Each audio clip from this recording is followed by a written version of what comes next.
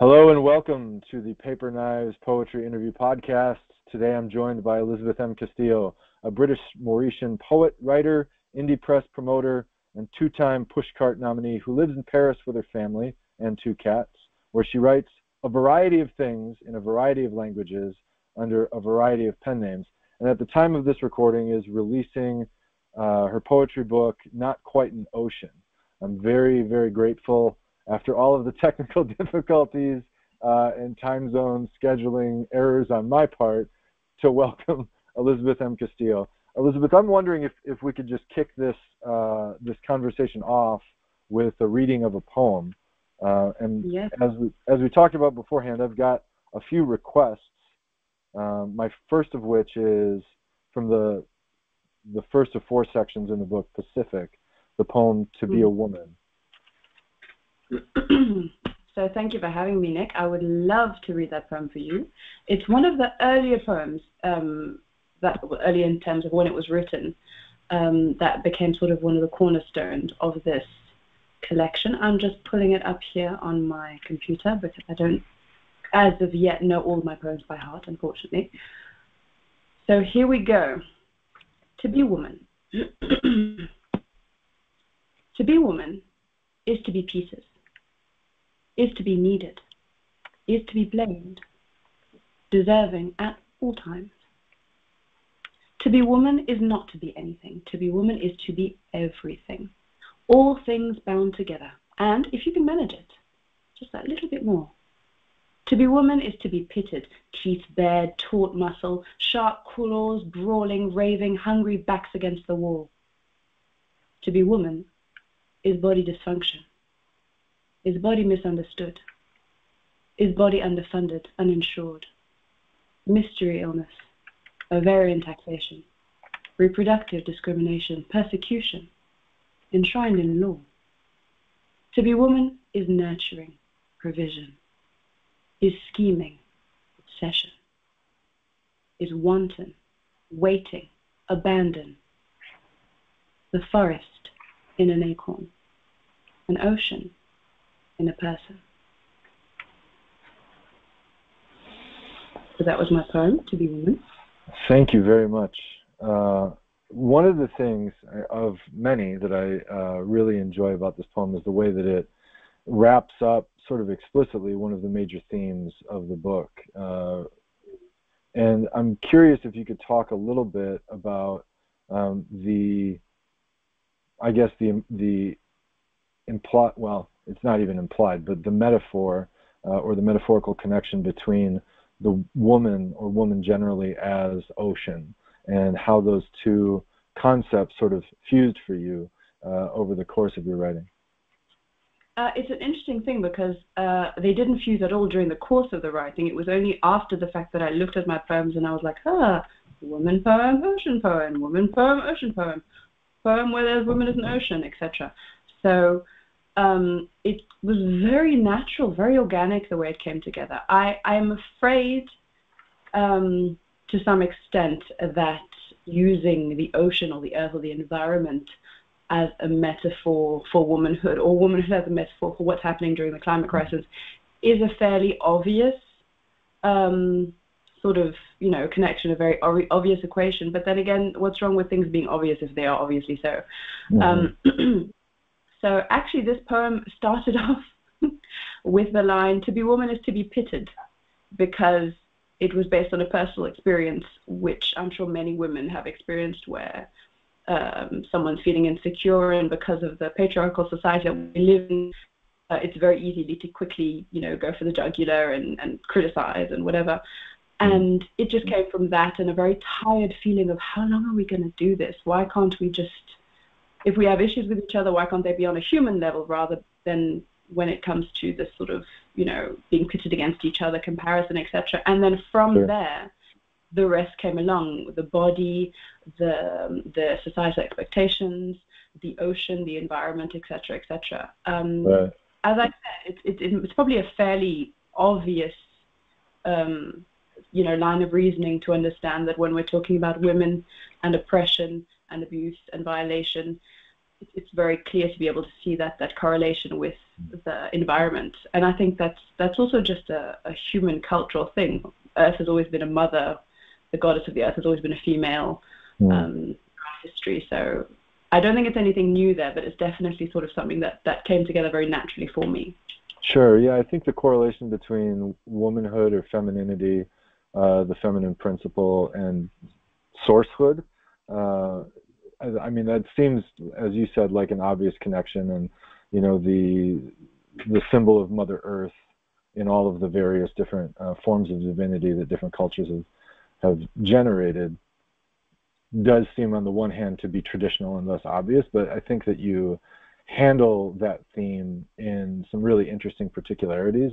I mean, so for instance, when you talk about pitted and pittedness, on the one hand, there's the the opposition or oppositional cultural uh, outgrowth of something like what we might call toxic femininity in terms of like, right, like women criticizing one another or men criticizing women, uh, and, right? But but also I think the the notion of pitted like a pitted date, uh, right? Uh, the the notion that like the core has been taken out, right? That which generates life has been taken out, and to that point, I think it seems indicative of the culture that we live in, right? Because by choosing this uh, symbol of the ocean as an overarching metaphor, itself uh, itself a, a, a synecdoche of na- nature itself, I think that you bring up the kind of part whole duality, right? Because there's a sense in which like the woman is the wave, which is a part of the ocean, right? And yet the ocean contains all things within it. And so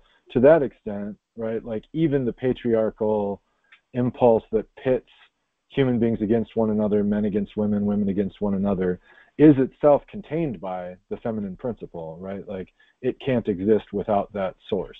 And that is that is in fact what I say later on in another poem called "Who Will Hold the Ocean."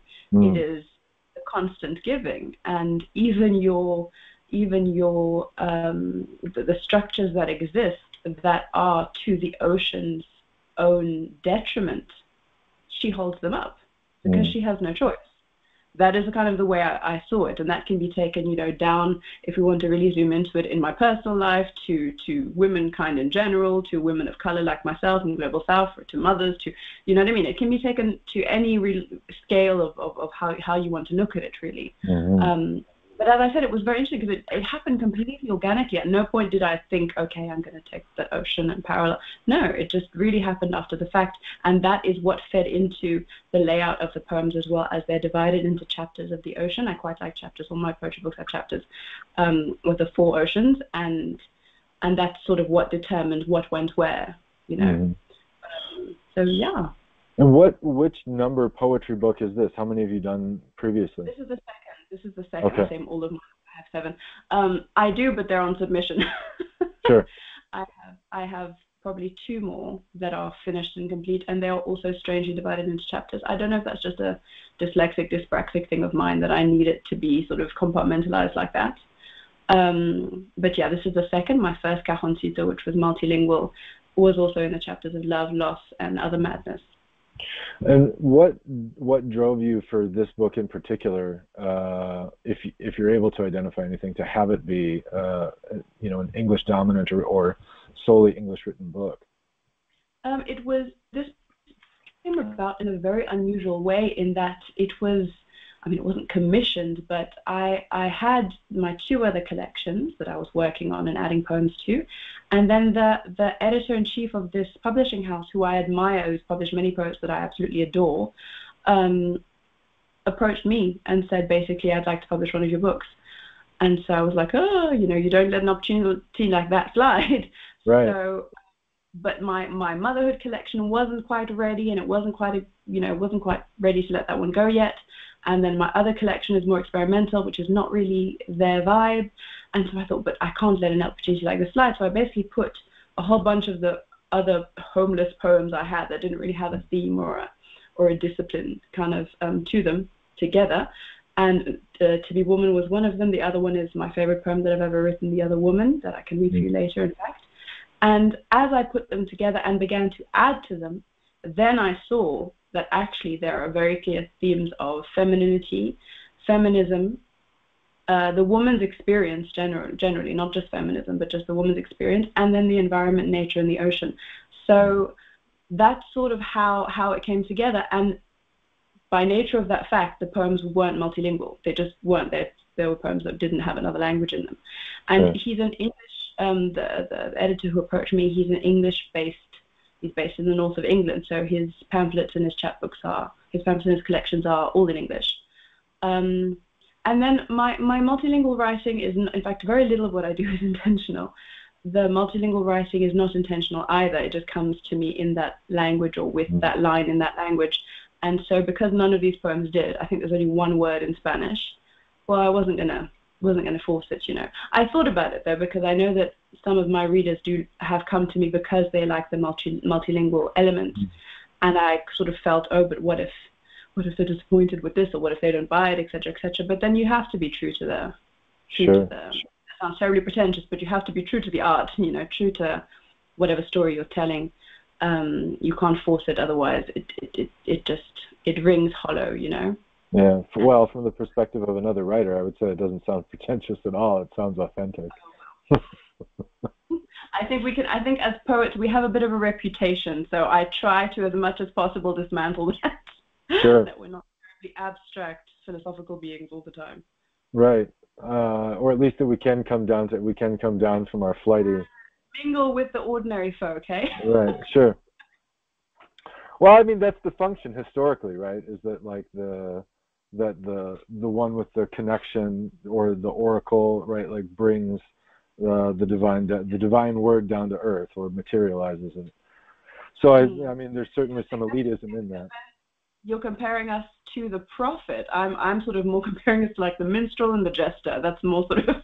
oh, I think I think the function of the minstrel and the jester are very similar in that uh, right they they both speak to and amuse the power structures that are there as well as to uh, entertain and enliven the criticism that the the hoi polloi might have of of the power structure.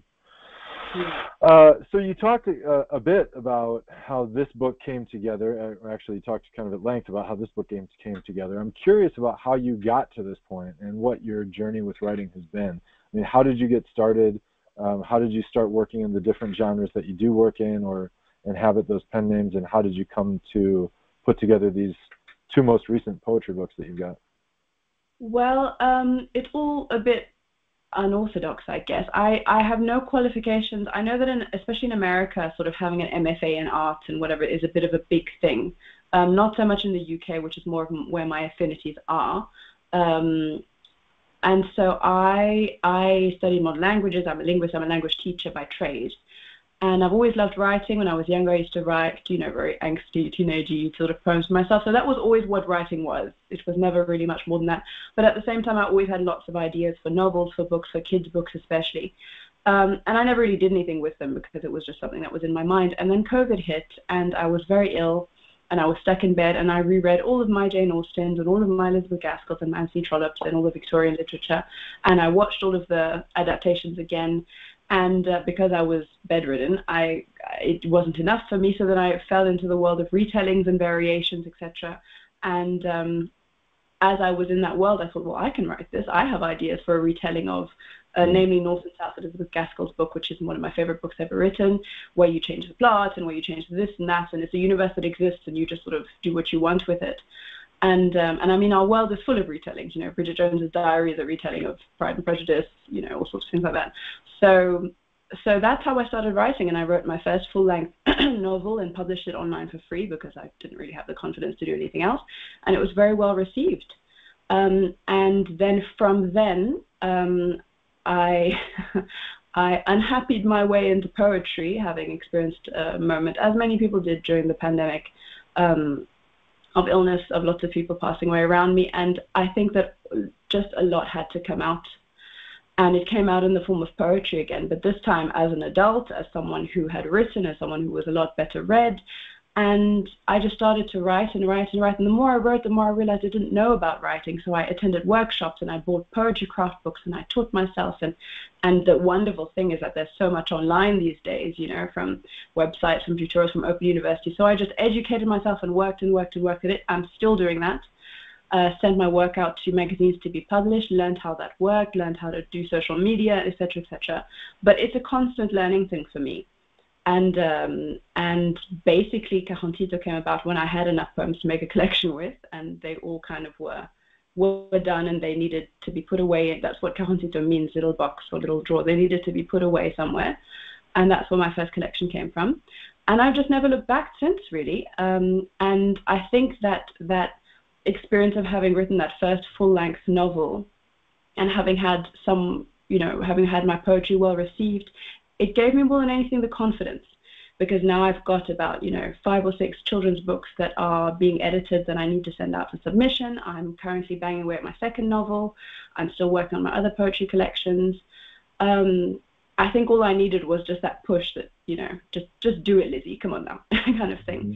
And uh, and there's also that other phenomenon that I think that if I had studied creative writing, I don't think I would have appreciated it half as much as I do now when I learn something because it's so precious. I think many people who learn or who study later in life feel that anyway. But um, when I go to a workshop and I learn a new experimental technique or I learn how to write a villanelle, I use the word term learn very loosely here because my goodness, how do you write those? Um, or, you know, whatever it is, I really, I savor the information and the skill and it's, it's it's just so fascinating and fun and rewarding. Um, so yeah, that's that's what that what that's what's brought me pretty much up until this point in time, and I'm still I'm still learning and still going.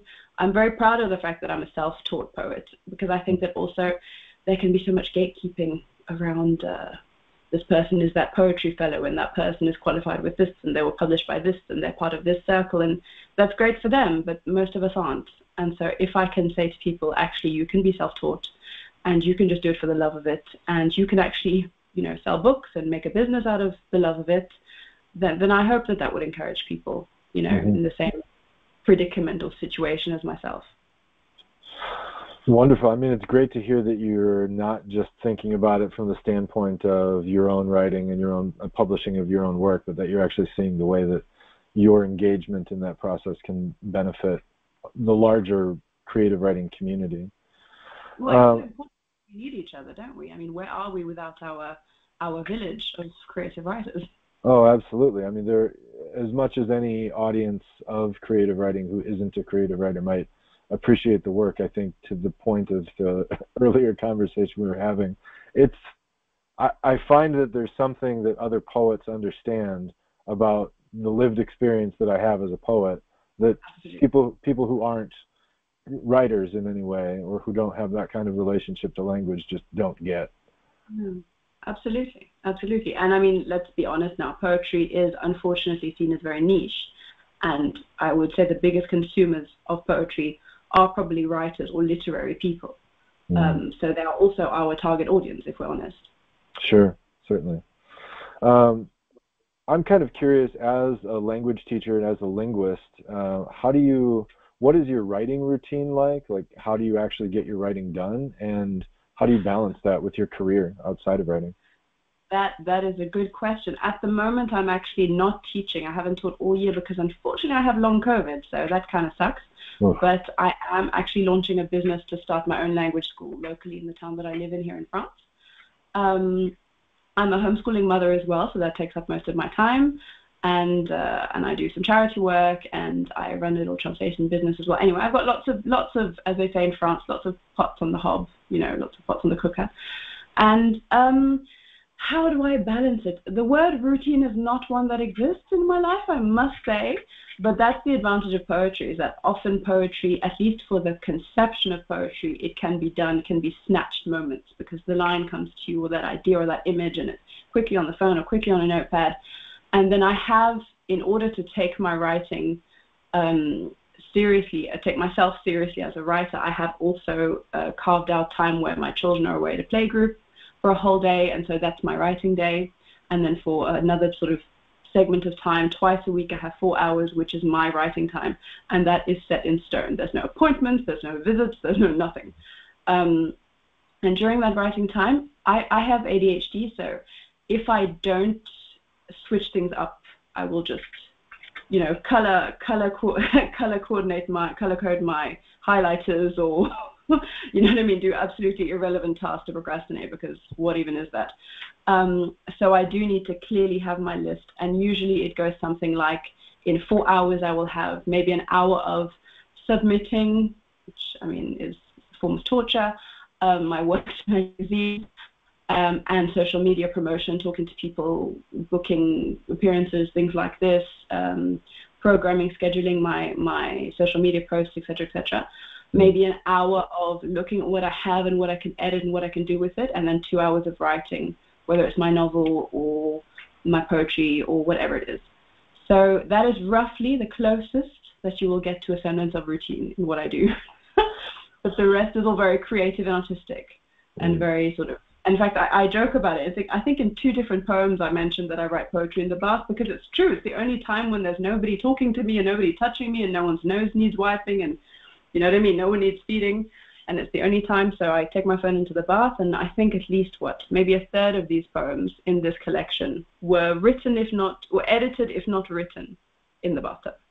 Well, that I mean that in itself is uh, quite poetic, given the the mm, central role that water plays in it. I mean, you take. I know. It sort of come full circle. Absolutely, I do like yeah, that. Yes. The water cycle. Well, as a as a fellow neurodivergent with an ADHD diagnosis, I a, I feel very validated, uh, and okay. B, the the description that you gave of how you break up your week actually gives me a lot of uh, a lot of good ideas for how I can go about being uh, perhaps more productive than I currently am. So thank you for for both of those. You know, you know what helps me actually, particularly as someone who has ADHD, is to to schedule in time to do writing adjacent things. So mm. whether it's mocking up book covers, which is the writer's favorite form of procrastination, or making a mood board or writing a list, whatever it is, that time is scheduled. So I'm like, okay, Lizzie, you've got your time to do your, you know, procrastinating in a structured way. And then you write. And I, you're probably the same in that once you sat down, you've gotten 10 minutes in, it's coming. It's, you know, that's, but the, getting to those 10 minutes where you're sitting down and not being distracted is so difficult. So as long as I can kind of get to that point, then I should get some good writing done. And I write fairly quickly as well, so that's an advantage. And mm. so once I'm done, I feel really good about myself, and then tomorrow, you know, we can do it all again. Um, do, you, do you mind if we turn our attention to a poem from the Atlantic oh, section, no, Waves? Waves, did you say? Yeah. Okay, of course. Now this is actually a, a funny story with Waves. It was meant to be in my first collection, and oh. I, I self-published my first collection. Even though I, I did get two publishing offers, but they wanted me to change too much, and I didn't like their, their changes. So I ended up self-publishing because I wanted the whole experience myself. And it was only once the book was on on pre-order that I realized that this poem was not in it. Um, so it was like, oh my goodness. but then obviously it fits very nicely in my poem, in my poetry book about the ocean. So here we go. Waves. Have you ever stood inside the ocean? Toes curled, shaky purchase on the seafloor. There is a lesson to be learned if you will stand and defy Poseidon inside his own court. Waves. They travel single file to hide their numbers. Waves. They suffer neither fool nor survivor. Waves. They just keep coming. The moon. She has no care for the divisions of your life for these tiny boxes you amass and fill, compartments overflowing, still she stands, looming as her soldiers consider their onslaught. Waves, breaking neither themselves nor each other. Waves at every side, there is no path outside of them. Waves, exiling you back to the shore. How long have you been standing there? Hmm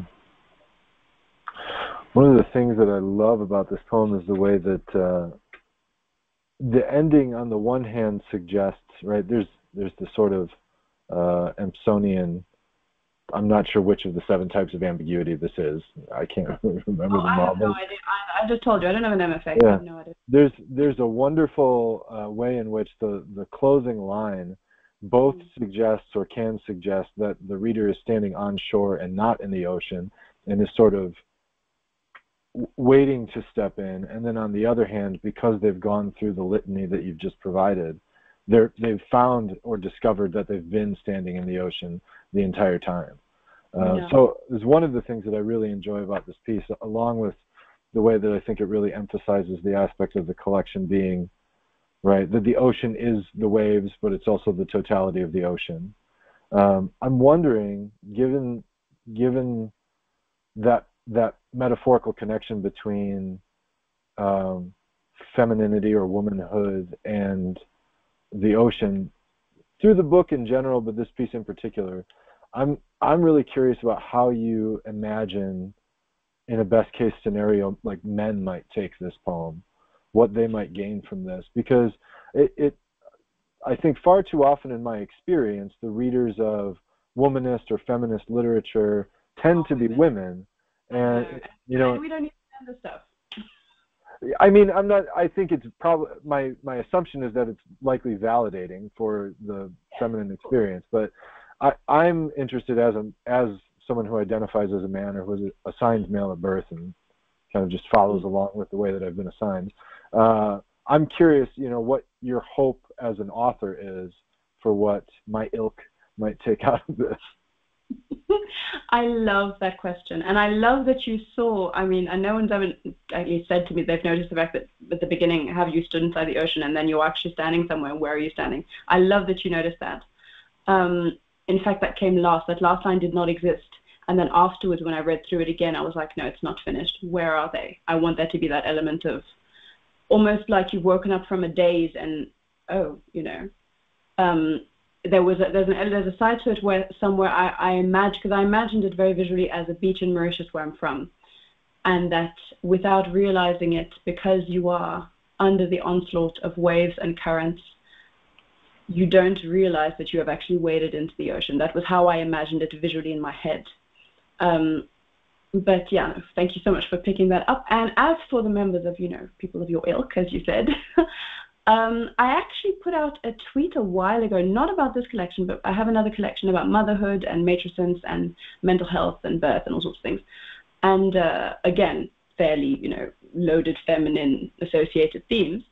And I was just curious whether or not men, especially the men who follow me on social media who are literary in some some way, whether they would be interested in you know a collection like that. I know many would buy it out of support for my work, perhaps, but whether it would be something like, oh, I really am looking forward to reading this. Mm. And um, and a lot of them were were very sweet and were very honest, and they said, look, I don't think I would, but because it's your writing, I would, or if there was a particular poem I liked, but it wouldn't be something I'd come to naturally um, which I appreciated because it's exactly what I imagined would happen. Mm. Um, so I, I, would I would hope that this this collection would speak to anyone. I would imagine that the male reader might see more of the climate crisis than of the womanhood. I imagine that a, a, a, a woman reader would probably identify, as you say, with the subtlety that maybe would go over a man's head, perhaps, yeah. which is fine, which is what poetry is for anyway. It's a different thing to every reader. But I would hope that at least maybe perhaps this poem is not, in my opinion, one of the more feminine ones, but in the poems where things are fairly explicit, that there would be a sort of a call to action of the humanity of it. Mm-hmm. It, would somehow be represented in such a way of like, yes, this is a woman's struggle more than anything else, more than any other member of, you know, group of society but somehow I have my responsibility in it. I guess I would hope that. Um, but then I don't really have too much of an opinion about that sort of thing because I do believe that poems they transform depending on who's reading them, mm. and I hope that they do. So, I mean, I love it. I have another poem called The Storm Tower that's in this, that's one of my longer poems. And it's written very specifically about a specific event and about the climate crisis. And I loved it because it was beta read by about 10 people, men and women. And um, and one non-binary person, if I remember correctly. And each person came back to me saying, "Oh, I love that this is about miscarriage, and I love that this is about a heartbreak, and I love that this is about writing a poem and struggling with writer's block." They all came back with a completely different take on it, and I love that because that is the wonderful thing about poetry. You know, mm. it's like painting; it is whatever the reader needs it to be and there's no other really written art art form which which is so flexible and versatile in that sense, you know. Mm, indeed, yeah. Uh, I mean, poetry generally is very accommodating, and what I've what I've read uh, of the collection so far, of your collection so far, it, these are particularly accommodating poems. It, I mean, it does literally feel in reading these poems like you are slipping into or stepping into the ocean and sort of, you know. Oh, that's, oh, that's one thing. I need to put that on a blurb. That's exactly what I wanted. That's wonderful. The waves of the lines are washing over you, or in the case of this of of waves, the poem, I think you end with a a repetition of questions that that sort of wash over the reader. Um, I think on on both counts, right? Like what is what is the relationship between the climate crisis and the state of the natural world that we live in, and what is the state of the of the human race, given the way that um, its patriarchy and misogyny have been internalized and sort of bedeviled women, in the same way that capitalist tendencies have bedeviled our our planet and climate, right? yeah so we're all we're all in it together as you say and and and because you also identify some of the um, you know the competition between women or what I'd previously referred to as toxic femininity I think you know you likewise are able to identify the complicity that each one of us has because we're all part of it you know like Absolutely. we are um, we want to yeah right and that and that's the thing that I think um, you know hopefully it, it spurs it spurs the reader to at least contemplate what sorts of concrete actions they could take uh, on both yeah. of those fronts. How, given that you just talked about this last line and and that it hadn't been there initially, and then in reviewing the collection you realized it wasn't finished and you wound up adding that last line. How is it, if there is any kind of regularity for you, how is it that you know when a poem is done? Oh, I saw that question. I know that you asked that question. It's a, it's a terrible but a wonderful question because I, I don't know. It's like cooking, you know. I I hate baking because baking is science. It's precise. If you get like you know, I mean, half a gram wrong, then it'll I hate it. But I love cooking. I love, I guess, because I've got you know strong sort of South Asian roots and Mauritian, like cooking is a family thing, it's flavor, you throw in a bit of this, you throw in a bit of that, you see what happens. And my approach to poetry is the same. In the same way that I take that last taste of the sauce and I know it's perfect, or it needs a bit of lemon or a bit of a kick, it's the same thing with a poem, basically. And you read it and it's like, mm, not quite there. Or you read it and you're like, wow, that is a banger. I am the best poet in the world, you know? And until you get that feeling, it's not ready, basically. Sure. Um, and, and I think, for example, Waves was written quite a long time ago. There must also be, but you don't always have the luxury of that time, that feeling of um, you're so far removed from when you wrote it that it's almost like you're reading a piece of work from someone else. And legitimately, objectively, it's a good poem. That's that's I think the, the, the sort of confirmation. But as I say, you don't always have that luxury of time. Um, but definitely with this one, it was the same thing. It was just it was lacking a little bit of chili flakes on the top or whatever it was. It needed mm. to be well rounded out. It just needed that dash of that last line, that question. And it was perfect. Then it was delicious. Uh, I'm wondering if we could turn to the poem uh, after poem after my four-year-old's bedtime tantrum. Yes, this, yes. This is among all of the the pieces that you have. I think that you do a wonderful job of expanding the conception of what poetry can be because of the way that you kind of vacillate in these pieces between the prose poem and the mm. standard verse poem. And this one in particular seems like a very interesting hybrid approach to that. So yes. I, I, I look forward to hearing you read it. Okay, all right. So, poem after my four year old's bedtime tantrum.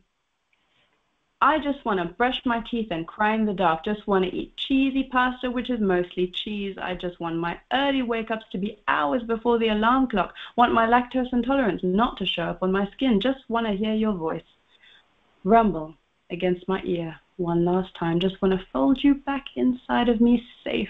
Just want my house to fill my house with hanging plants. Just want to forgive, forgive, forgive as I am forgiven. Just want to rent a car and drive through a snowstorm. Want to never have to come back here again. I just want to fill my lungs with smoke and hope and ambition. Just want to let the gray grow out. Want to live in a shack by the ocean. Just want to hear your voice calling to me.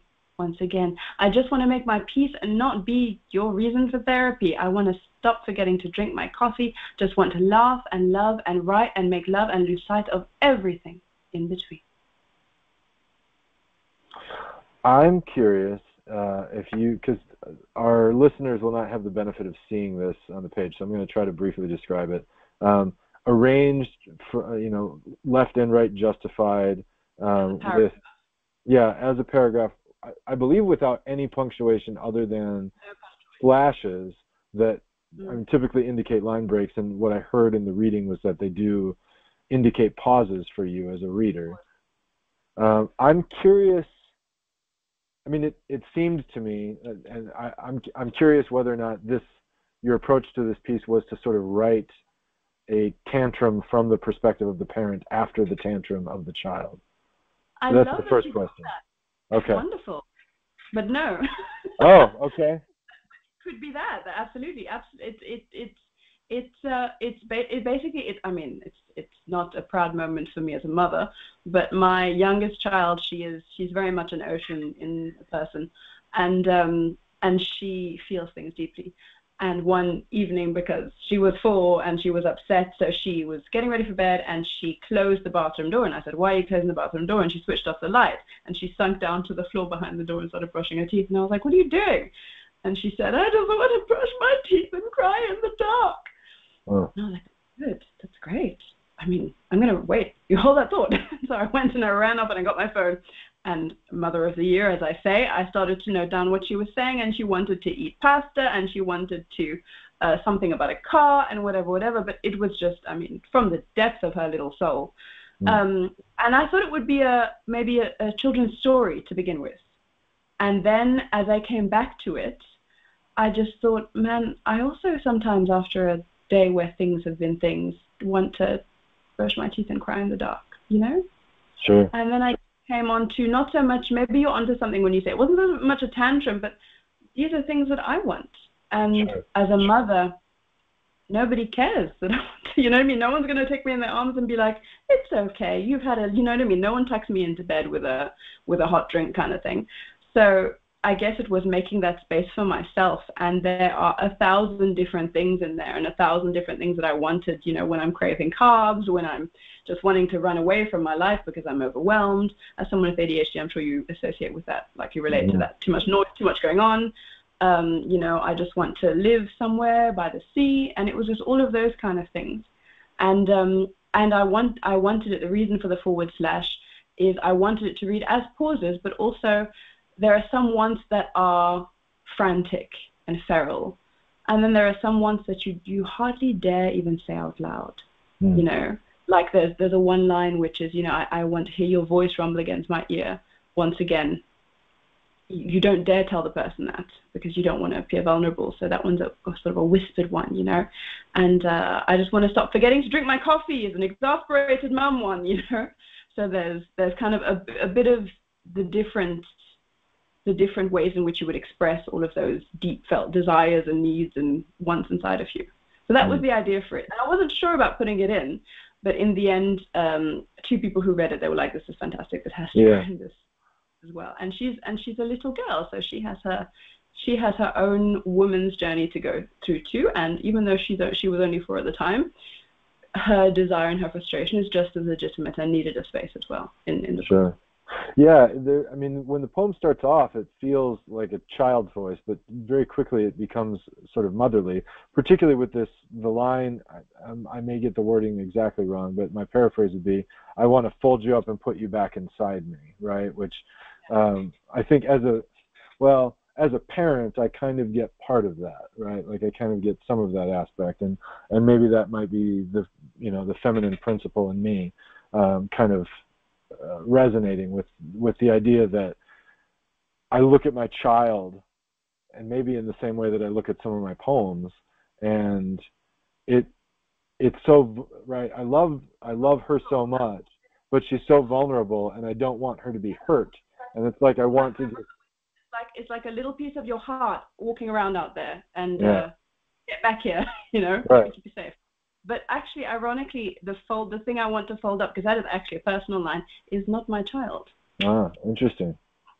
uh-huh, and I will leave it at that to leave some mystery to it. But it's not my child. Sure. Okay. Yeah, that does that leaves some mystery, indeed.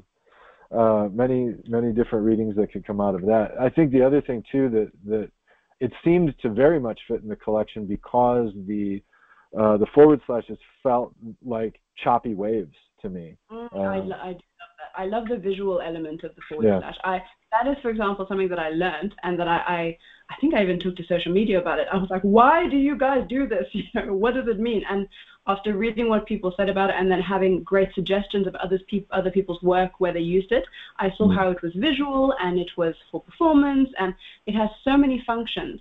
And I must say, I think my favorite function for it, I use it a few times in this book, is definitely the visual the choppiness of the waves. There's a, there's a poem in the in the book as well later where it's for me the growing of a vine. It's about mm-hmm. moss creeping and growing, and I, I sort of uh, spaced it out to look like that. Sure. Um, it's, it's a wonderful, wonderful technique. I love it. And poetry without without um, punctuation is also really great because it just leaves a lot of room to play, you know. And poetry needs to be playful sometimes. Certainly, yeah. I would think poetry that's well on the one hand there's a sort of false dichotomy between poetry between seriousness and playfulness. And i think that one of the things that your collection does really well is that it it treats very serious matters playfully in a way that engages the reader in them. So uh, yeah, i really i really en- enjoy the fact that you've taken playfulness on it. Yeah and, and it, i think exactly. You can you can play with the process and it doesn't mean you're being disrespectful of the actual subject Indeed. Can we turn our attention to regret? This is, yeah. I, I think it may be the shortest poem in the collection. And possibly one of the shortest I've ever written, to be honest. Yes, regret. And again, um, you probably need to see this poem to understand it because it's, or you can describe it in a minute. Shall I, shall I read it? Yeah, please. Regret. Shark in the water. Blood on her fingers. Blood on the water. Shark, death on her oh. hands. And that's Ah, yeah. I'm I I was curious how you were going to read the poem, whether you're going to read it down. So it's, yeah, no, it's to describe it for the reader. Yeah, to describe it for the reader, it um, where the pauses are in this piece rather than uh, slashes, there are, ta- I would say tabs, maybe two tabs between the first word or short phrase and the second. Um, and, and so there's a column, there are two columns, one, one beginning with shark and the other beginning with in the water. Um, and so it's, I was really struck by the way that I could read these in two ways. Um, I had just gone through reading, I, yeah, um, and I I really enjoyed the sort of even more fragmented method of mm. reading down and then down. Sharp, blood on, blood on, sharp on her hands, absolutely. Right. Um, I'm curious whether you had any intention in giving the reader the opportunity to have those two different sorts of readings. Yes, of absolutely.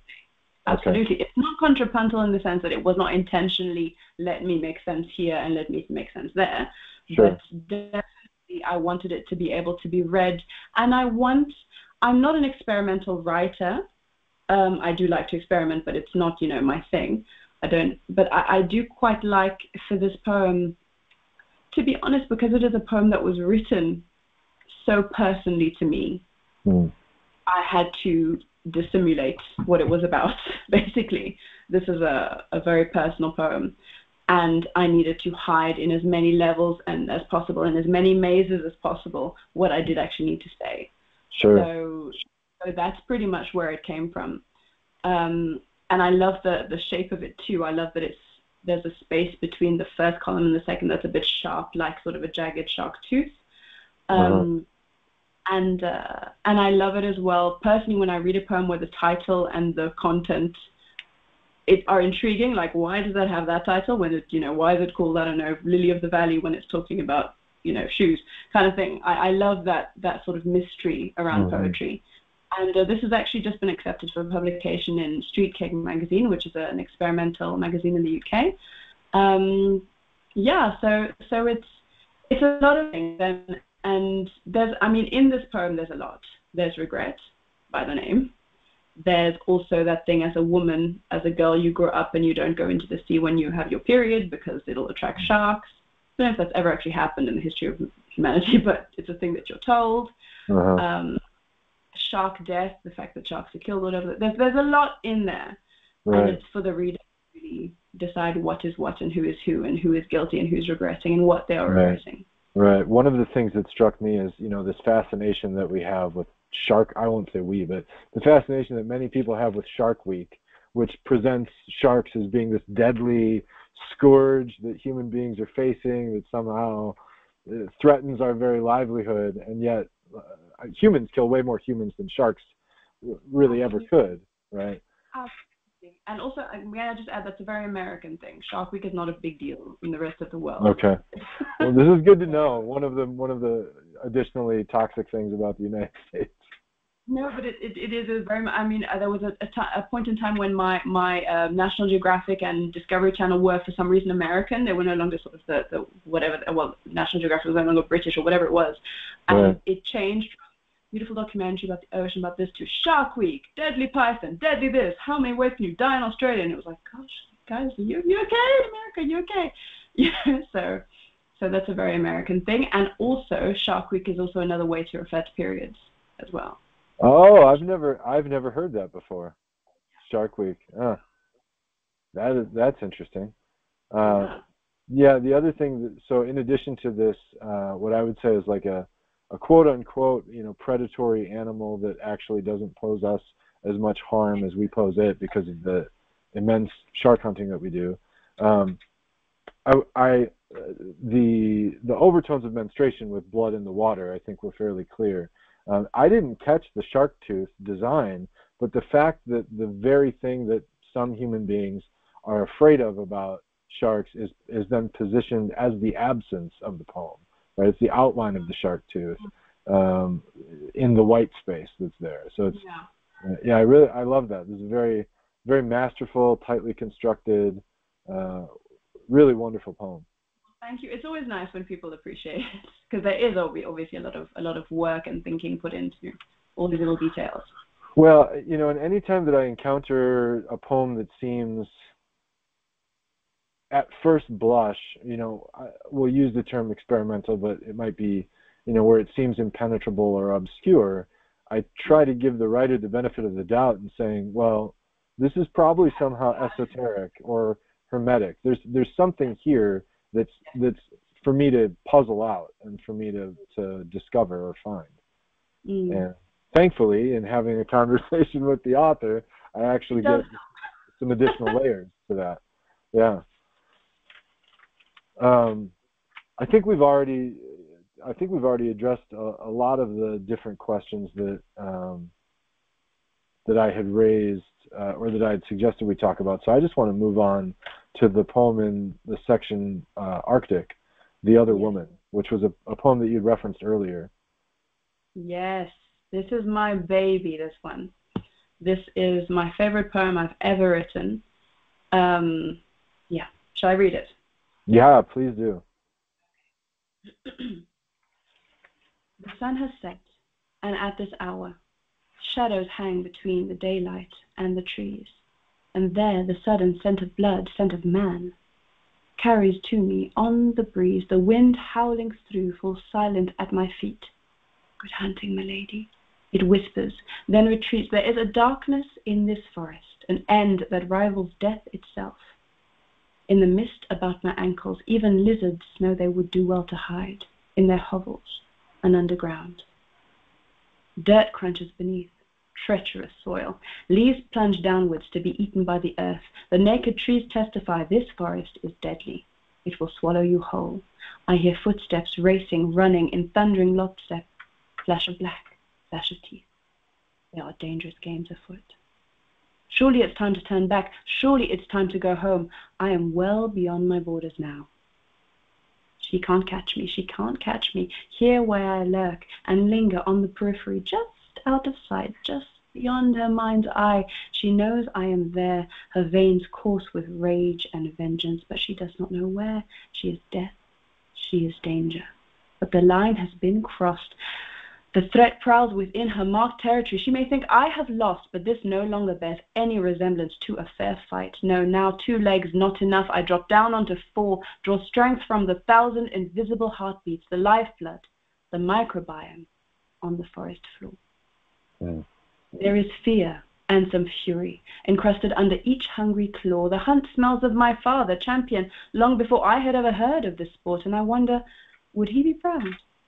There is sweat at my temples, and my wrists are bound to stop them from trembling. I step crabways, low and feral, without shadow or sound. Your ears twitch and you shudder, your neck craning to see what you and I must learn the hard way. The deadliest thing in here is me. That's my favorite one.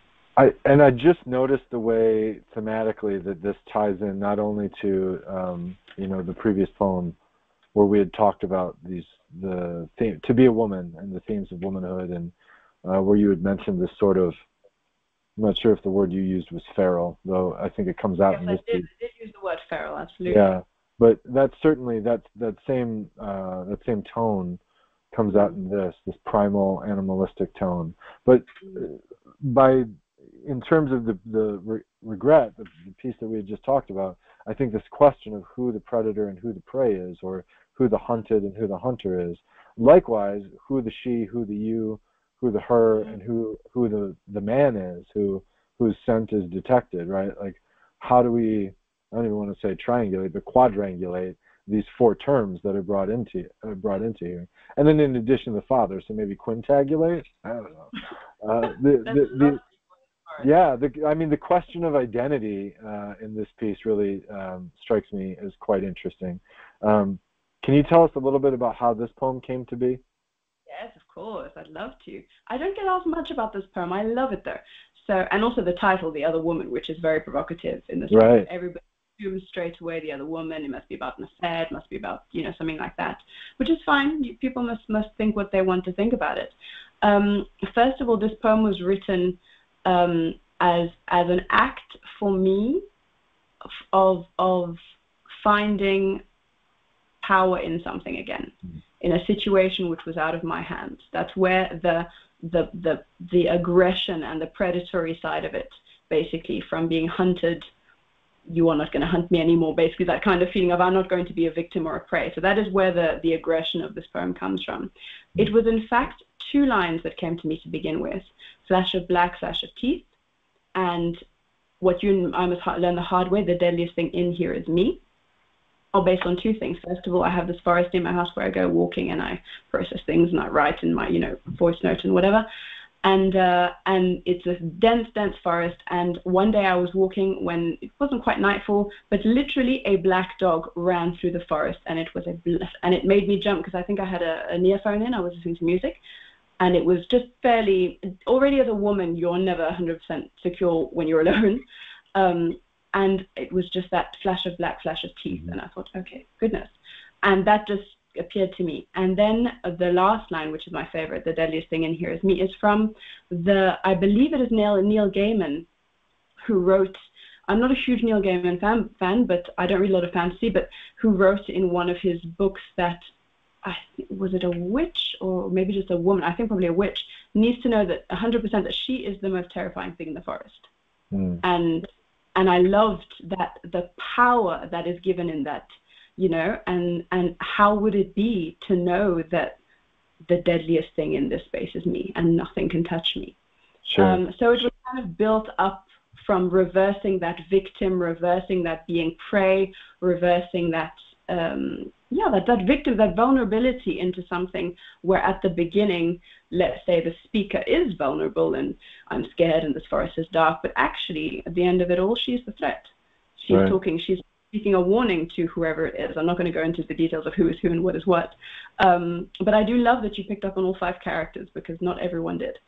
So, so yeah, so it comes from there. And I'm a big, I mean, I, I just said I don't read fantasy, but I'm a big fan of Angela Carter, mm. who took the fairy tales and made them a little bit more uh, elaborate, embroidered, sometimes a bit darker, oftentimes a bit darker. And so for me, it was like that sort of creating that Angela Carter-esque universe in which the the um, the prey becomes the predator. And in fact, now that I'm saying it, it's a lot like what is it in the Company of Wolves, where at the end the Red Riding Hood laughs at the wolf and she and she strips down in front of him and she says, "You you know you are no threat to me," basically.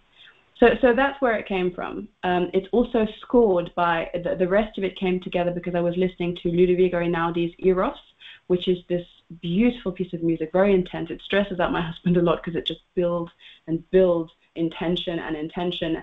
Um, and it was listening to that, in fact, that the rest of the verses came to me. So there's a lot of different things that fed into this poem, and I think that's probably why I love it so much because it was sort of really a lot of rivers that made this particular ocean of a poem, you know. Right. Um, yeah. Uh, I'm I'm glad that you brought up the rivers that make up the ocean and the tributaries because I think that's going to come back later in our discussion. Um, yeah, uh, I'm wondering if we can move on to the immediately next the, the poem that immediately follows this, the the cancer. Yes, absolutely. So, oh, this is another forward slash poem. There you go. Right. This is a poem that was actually written in a uh, workshop on cartography where we were shown different maps as gener- generative prompts for writing, and I wrote this on that. So here we go. The cancer. The earth was held between two breasts, warm and safe from the beasts inside. The world was kept against her chest, milk from one, salt water from the other. The world was split along her middle, one half wrenched like a joint from a socket, like a feeding calf from its mother the other severed long, painful strokes, and she cried out this bleeding earth. With every motion, the fault lines cracked, the oceans stood to attention, bursting their banks, covered the earth, only volcanoes left standing, spitting fire and ash from their gaping mouths. There was no alternative. It had to be done. Letting the blood deep from the earth's core, and after the rubble, after the rains, after much digging, beneath each breast that cradled the earth, lay the cancer they had buried there long before. Mm. I just want to say this. I mean, the way my interpretation, anyway, um, that this that this piece uses mastectomy as a metaphor or within a mythology and situates uh, right this the it situates breast cancer as a creation story, right? Which, at least in my mind, which I think is just a masterful kind of uh, take on the on on the theme of nature that you've got throughout the book, and ties it really wonderfully into into womanhood in terms of yet another one of the threats that it would seem our disregard for the natural world winds up placing uh, as a burden on women. Mm. yet again, right? Another another threat to be vigilant against. Mm. Well, that's exactly right. It was it was actually following two friends of mine who had breast cancer and had mastectomy. So, I mean, I could have made it about ovarian cancer, but it's less visual. um, mm. But it was it was very much that, and in fact, it, it was very simple. The the the image that was in, was the prompt for this was one of those um, sort of you know from the colonial time maps where there was just two circles, mm-hmm. and it was it was an online workshop. So she just put this on the screen, and the first thing I thought of was breasts because it looked like breasts and uh, and and then as I was writing, the, these people came, these friends of mine came to, to mind, and the suffering that was there, and then it got worked into um, into the earth, into the mm. and that the irony of the fact that you can remove and remove and remove. I mean, cancer is such a such a devilish disease, and it's still yeah. there. You know? Insidious and it's uh, or a worse cancer is there, or you know the one cancer was covering the other one, or so that's that's sort of where that that came from, and that that frustration that I mean it can be also you can extrapolate it to also sort of relate to all of us in that while there are multi-million multilateral companies polluting the earth, we have to use you know we have to um, sort out our our rubbish and use tote bags instead of plastic, whatever, whatever. But how much difference are we making when they are actually literally, you know what I mean? There's that right. kind of feeling of what is the point of all of our little efforts when the world is dying because of these giant corporations and sure. huge things happening. So there's also that frustrating uh, frustration of no matter how hard we work, it's still there. You know, it's still going in the same direction. Right, especially uh, I'm thinking particularly of Naomi Klein's book, where um, I, am blanking on the title of it, but um, yeah, the one on the shock doctrine. Yeah, right, the one that came out immediately after the shock doctrine, and um, I mean the book basically shows that it's the supply chain that is really the issue, right? Like, so you've you've on the one hand, it's the responsibility of uh, the corporations to change their supply chain in order to limit the uh, carbon emitting fuels that that are being used to transport goods. But on the other hand, uh, you know, all consumers can really do is try to buy and shop local and keep exactly. the when the consumers when the consumers are trying to feed their kids and balance the right. checkbook. I mean, come on now, you know. Right. I never. And there's such a pressure and whatever on, on the individual when we are most of us are doing our best, you know, and and and yet it's not going to be enough. You know especially what I mean? That- that especially when so much of the domestic uh, household economy work is handled uh, unpaid in most cases throughout the world by women, right? yeah. Uh, yeah, it's such wonderful, such wonderful social political commentary uh, I- that isn't over. I mean, it's not over the top. It's not, you know, you're not bonking the reader over the head with any of this. You don't want to preach. It is an art. You want people to enjoy it. You know what I mean? Right. I'm not. I'm not Naomi Klein writing a book about educating people. That's Right. my purpose. And it's a difficult thing because you don't want to be like, women have it so hard all the time and the planet is dying. You what I mean? There must also be the art form there and the enjoyment and the beauty of the words, which will stay with people for longer, hopefully, and maybe will Right. make the message not more palatable but more memorable. Sure, certainly. Well, and the I, I think there's there's an idea at least that even if a reader comes to these poems and doesn't see the these sort of subdued messages, uh, what I might call like the esoteric element that's Mhm. that's within them, that there's a kind of osmosis, right? That that there will be traces of that idea that wind up filtering in, even if it's uh, at the subconscious or unconscious level. Uh, let's let's move on to the last section of the book, uh, Indian for the Indian Ocean. Um, I, I'd like to go first with "In Summer I Am Beautiful," and then I'd like to close out with uh, "Who Will Hold the Ocean." But let's take a pause between there because I want to really kind of dive in and discuss each of them. Yes. Okay. So just a little a little extra about the the chapters. I am from Mauritius, which is in the Indian Ocean. So the poems in the Indian Ocean section are all very personal. Um, uh, and the first of the first poem in that section is "In Summer I Am Beautiful." in summer, I am beautiful, not like in winter, when even the sun hides its face from me as if the thought of spending the long, languid dwindling of day in my company were too much to bear. Winter, where shadows creep and creep, when trees are naked, when hope decides to hibernate. In winter, a grayness covers the earth. There's no telling the color of a dandelion or the green breadth of a blade of grass. Like a faithful mouse, I have learned to hoard small crumbs of happiness, the familiar creak in the floorboard, the last drop of tea in the cup for safekeeping, the steam coaxed softness of skin. Not so in summer. In summer, I wear beauty like a shroud, and my solitude becomes a wildflower crown. In summer, I gather beauty all about me, wet at my temples, between my breasts, at the backs of my knees. Like calls to like. Salt calls to salt.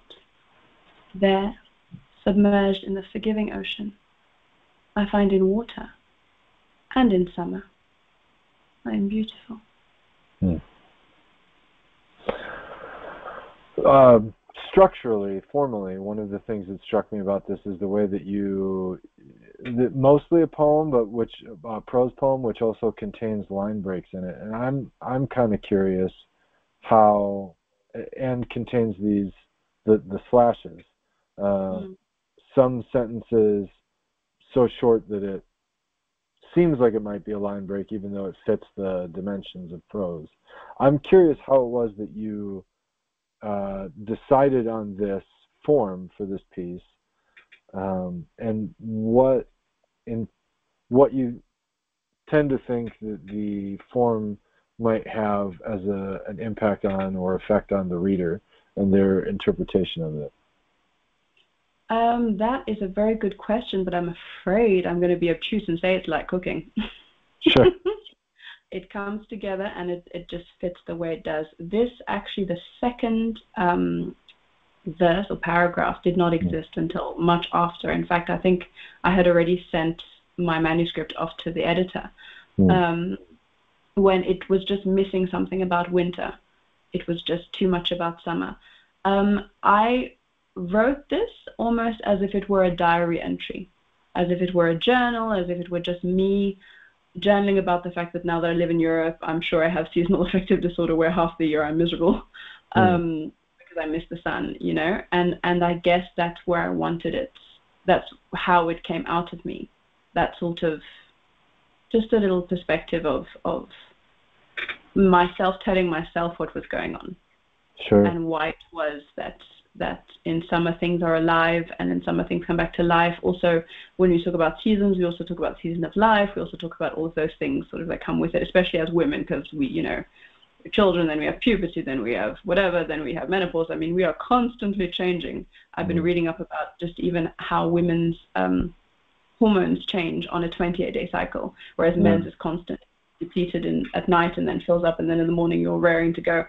And and even that, there's sort of the, the seasonality of that as well. that affects everything, our decision making, our energy, our mood, absolutely everything.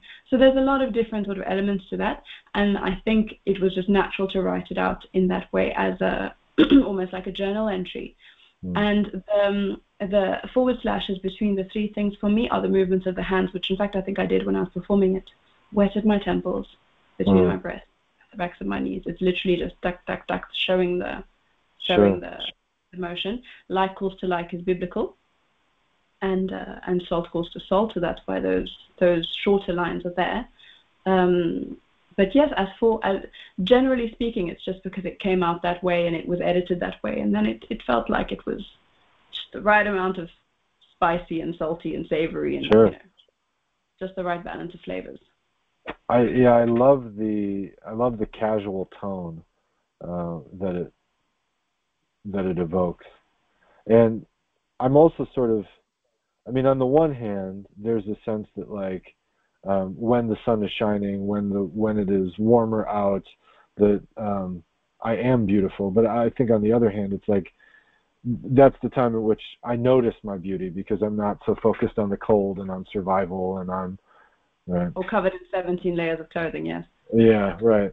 Uh, having to having to cover up my beauty, which I think also again sort of speaks to some of the ways in which uh, women need to or can choose to be vigilant in the society that they're in by like covering up from the male gaze. So in some sense, I think like the, the male gaze is like old man winter. Absolutely. But you know what I love about this conversation, Nick, is that you're really picking up on the side that I don't have because I'm not a dude.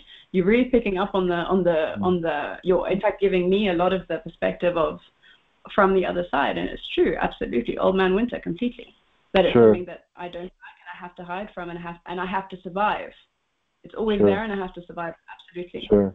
Well, and that that I think in turn also speaks to the the climate crisis that we're facing right now, and that you know like we're we're all now threatened by this by the gaze of global warming, right? Uh, by by overall heat heat death in the earth, right? This is the thing that is glaring down on us, uh, and so the question is like, how are we gonna how are we gonna face this? How how do we have to be vigilant against this? What what actions are we now going to have to take?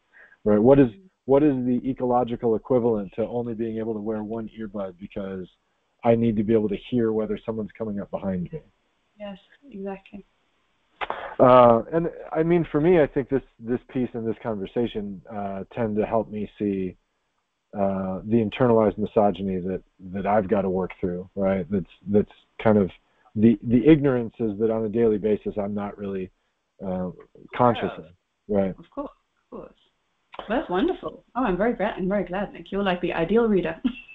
Uh, I well, let's hope that there are more ideal readers out there, and perhaps even more ideal than I am. Because I mean, I'll say, you know, I didn't, I, I didn't have, given my own schedule, you know, parenting and therapy and writing and everything. Um, it, it was not easy to carve out time, and I don't, I felt bad that I wasn't able to give uh, the book uh, greater attention. Though I think for anybody listening, I would also say pay attention to the to my social media feeds because I will be writing a more detailed analysis of at least one of these pieces, uh, if not including a, a, review of the collection that sort of summarizes my thoughts. So hopefully that'll help future readers. So let's let's close out with uh, who will hold the ocean because I think yes. you mentioned this piece before as well, and I think it's a, in my estimation, a pretty good um, conclusion to bring together both of these, well, all three of these themes of uh, femininity and motherhood and um, nature, the climate crisis. Yeah. Okay, who will hold the ocean? Who will comfort her in her rage? Whose arms could wrap across the earth? Whose legs wouldn't buckle under her constant motion? Who could see past her belly swollen with oil and regret? The great sutures that hold her together in her depths, who will breathe life into her wearied sinews, shore up the arms that hold the continents apart? Who will tell her she is condemned to hunger, of the slander spoken by rivers and streams? Who will thank her for her giving, her constant giving? Who will teach her that the darkest parts of her body are where the creatures are the most boneless and bright? Who will dismantle the great iron skeletons of conquest that lie rotting, eating away at her throat and her back teeth? Who will whisper eulogies to her salt and to her sand? Who will defy the moon and the white tyranny he holds over her? Who will hold up her glaciers, slack fractal by fractal, until she is spent? Who will comfort the ocean? Who will hold her ends in place? Yeah. The the concluding line here i mean you have these masterful conclusions because uh, it leaves me with this question of right the what to go back and reread the poem considering what the boundaries of the ocean are but also what the purposes of the ocean are right? So i'm, I'm thinking of ends in both of those in both of those senses. Uh, and there's there's a certain right the poem has this explicit sense of uh, or question to responsibility right? There's a there's an accountability that is brought up uh, in which the reader is then implicated. Uh, how did how did this piece come out? Like what what's the story behind how you developed this? The story behind this one is is not a very glamorous one. Um, it was it was again as I said before the Indian section of this the Indian Ocean section is a personal one, and this was basically at a point in my life I think a biographical poem um, there was a point where in my personal life, my professional life, my life in general, there was just a lot and too much and and too much for too long. And at one point, I just thought, well, who? A, a bit like when I, what I was saying during my, you know, tantrum poem. Mm. Who will comfort me? Right. Who will put you know, I have one of my one of my collections is about parentified childhood, which has been my own experience. So there's a lot of that, you know, as adults that we only realize when we have children all of the issues that we have. Um, and so I think that's where that's the point from which it came. Um, and there's specific lines that relate to that, you know. There's a, there's a line in there, for example, about I had a very a very um, traumatic and dangerous childbirth in which I almost died, and there's a few lines oh. about that in there, um, which are very just obviously, you know, the metaphor is very obvious. Mm. But then it developed further beyond that to so many women that I know. Um, so many, especially, especially mom, mothers, especially creative mothers, mothers who are juggling maybe a part-time work and creative projects, writing or whatever, plus mm. the kids, young children, plus whatever, maybe they're single parents, maybe they're solo parents all the time. Whatever it was, there were a lot of women that I knew and that I loved and that I cared for who were in the same sort of situation of who will love us? Right. There's a poem in this collection about that saying, I'm tired, and it finishes with, I'm tired, but no one puts me gently to bed. And it is that, that, that, that feeling and that not just a desire, that need, that longing to be loved and to be taken care of and to be told that you are safe and, you know, you can rest and you can lean on something that is bigger than you. And then when I, when I, um, when I think this was sort of a half-written poem when in Mauritius uh, there was no, it was actually after, it was after the oil spill that I read this poem. There was a massive oil spill off the coast of Mauritius that like devastated our west coast. We're a tiny island, we rely on tourism, and it was just devastating for Mauritius. Um, and so that was where the idea of this oil that no matter what the ocean does, she cannot get rid of it. It's on her surface. She needs people to help her, the same people who put it there. Um, and and the the when you read about you know that it's a horrible thing to think about, but that island of trash that lives in the ocean, mm-hmm. and the same thing, she can't get rid of it. Her animals cannot get rid of it. There's nothing she can do. She's right. stuck, and yet she keeps going, and she keeps giving to us, and keeps the moon in check, and keeps you know the tides, and keeps she's doing her best, even though she's polluted, even though she's abused, even though she's fed with things that poison her um, but she keeps going, and so this was really just not even a cry to arms. It was a it's a lament of yeah. can someone yeah. please give us and the planet a break. You know that was that's really what it is. So it's not a particularly deep and glamorous metaphor in that sense. Um, but but it's a poignant one, and I think that it's something that that definitely many women um, or or people who care, people who have a lot of caring responsibilities and a lot of you know things on their plate will relate to. Uh, I mean, I, I think that not only does the piece really fuse the personal and the social, you know, the more general human feminine experience. To my mind, it by doing that, it also sort of evoked for me this sense of the the insufficiency or incapacity of, of any individual person to really uh, w- properly worship the divine feminine or properly worship like the feminine principle, and also the way in which we as individuals sort of lean on Mother Nature, right, in order to take comfort ourselves without, as you pointed out, without giving that support and that care back.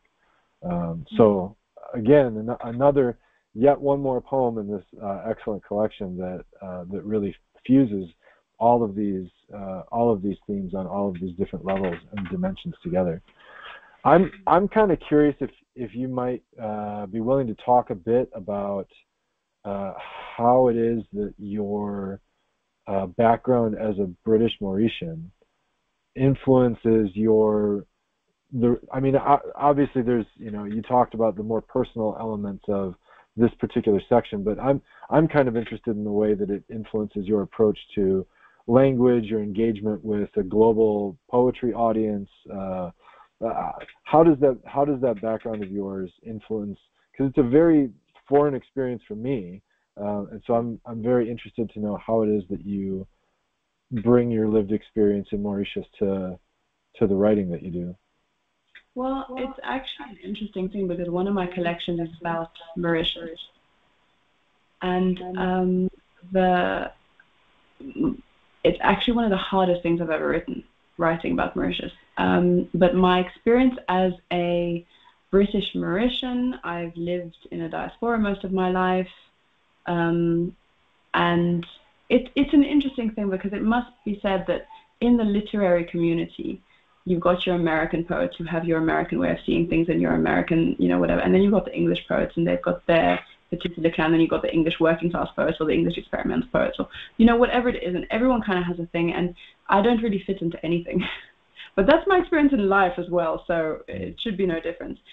So, so, um, how it influences my writing is first of all, I think that there is there is there are many things that I write about where someone will take a part of it and they will relate to it. So, for example, a poem like this, a woman, a working mother, an exhausted person will take that bit.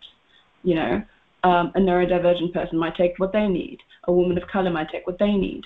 But it is very rare, in fact, so rare that it's never happened yet that I have found my niche. Mm. Um, I have had to adapt to so many other niches.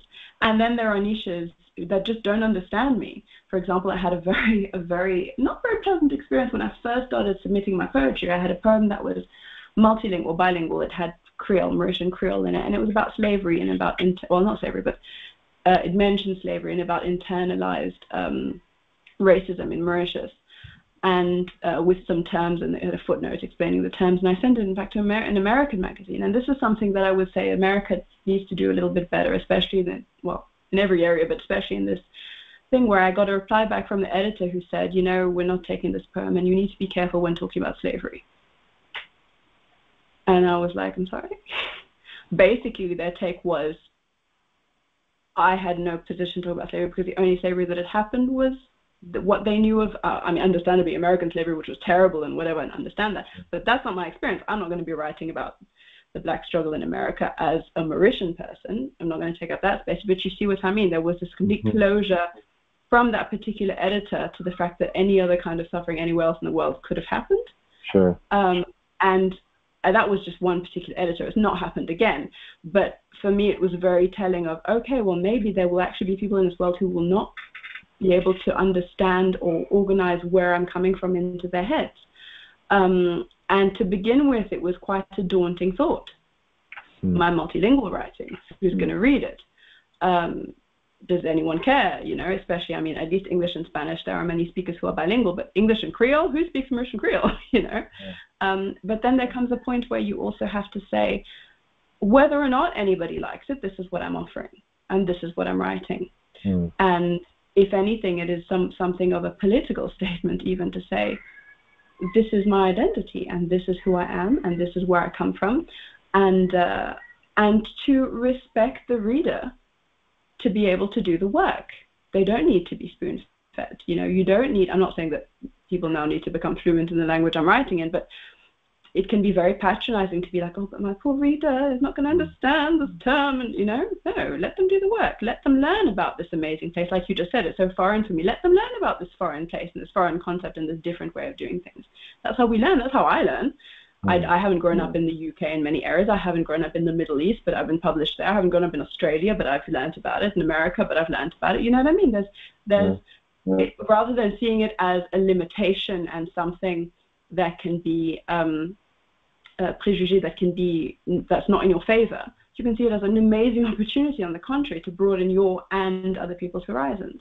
Mm. So that has pretty much been my. I'm not sure if that was answered your question, but that has pretty much been my my approach to to what I'm doing. So there's no niche for me. I will make the niche myself.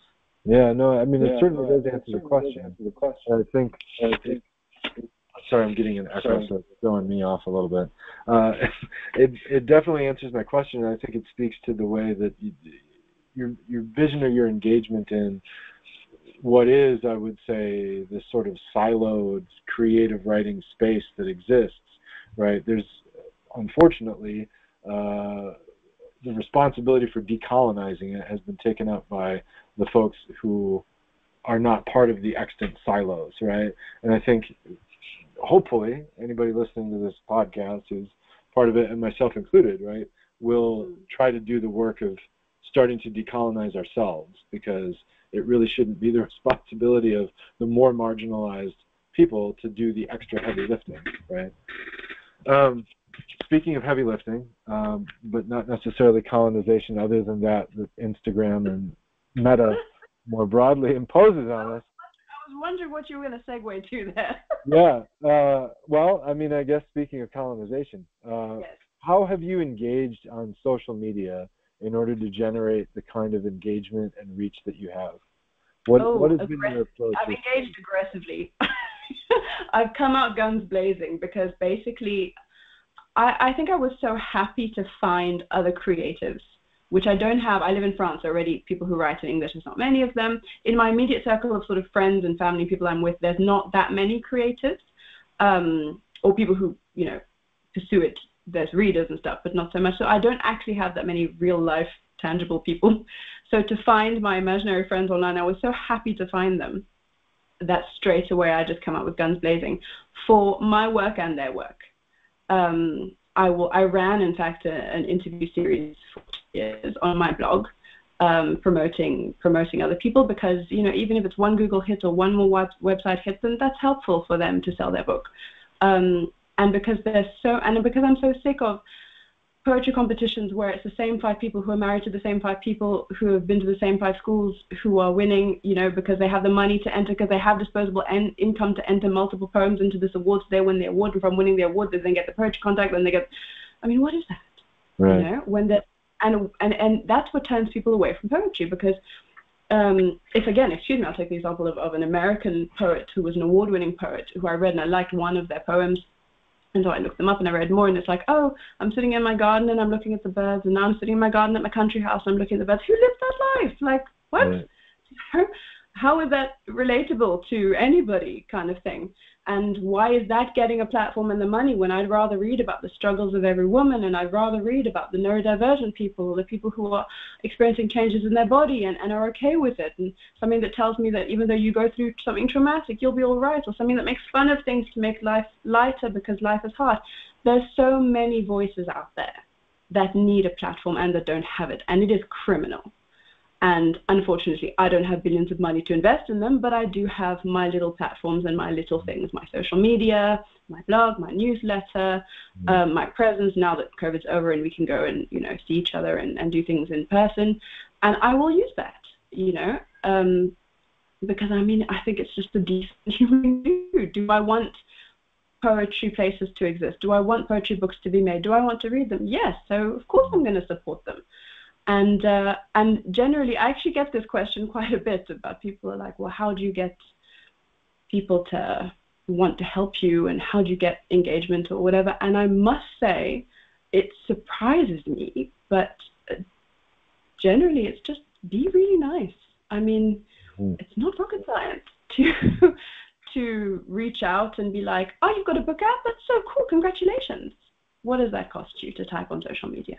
Right. You know, what does it cost you to be like, oh, I'm sorry, you're having a bad day, sending you love, or man, this is hilarious, or I love that artwork, or just tell people what you think. But I think that we are so, maybe we're so into ourselves, maybe that's why. I'll give you a very practical example that, in fact, I'm going to use on. I'm going to actually run a workshop at some point about getting things done, kind of thing, online. And one of the things that I do in the morning, I check my social media three times a day, morning, middayish, and then in the evening uh, a bit more now because I'm promoting my book, but usually it's not more than that. And um, one of the things I do is on my feed on Twitter, for example, although must be said, since Musk took over Twitter, it is a hellhole. It used to be a lot better. Is I go down my feed of the people I'm following who are saying, you know, whatever they're saying about their writing, about their podcast, about their day, about their headache, about their kids, and I mm. reply to everyone. I reply to the first 10, 15 people whether it's an actual constructed response or whether it's just, you know, I'm glad you're having a good day or this looks great or that's so cool or mm-hmm. and it's genuine. It's not fake, it's not spam, it's genuinely because people deserve your attention, whether it's a second or five minutes or an hour of it. And it makes people feel important and validated. And uh, the key thing about social media is it is social. So you need social skills. And that I think is the bit that's missing. Um, in most social media because it is, let's face it, the biggest platform for us to market our work.